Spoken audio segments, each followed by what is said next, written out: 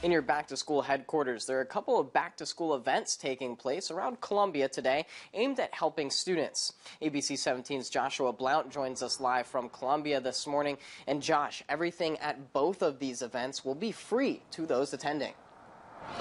Ben, good morning. Ben, good morning. Families can attend multiple events today, including a back to school health fair and a community event.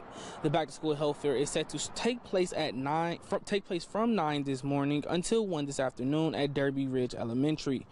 There, Boone County students can get a free backpack filled with various school supplies, as well as a free COVID-19 vaccine or booster shot. Columbia Boone County Public Health and Human Services says no ID, insurance, or appointment is needed for two for today's services. The Rock the Community event is set to kick off at Douglass Park this afternoon from 2 p.m. until 7 this evening. People attending will also receive free backpacks along with school supplies. There will also be a three point shootout, live performances, and, and more and being for parents. Both events can help them save money on school supplies as items can become expensive or get those last minute vaccines if they haven't had the chance to do so.